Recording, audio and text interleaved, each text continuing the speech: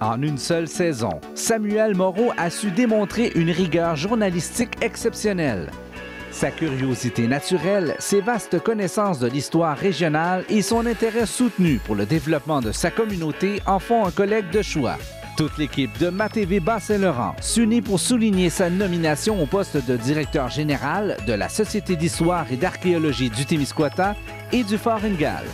Bravo, Samuel!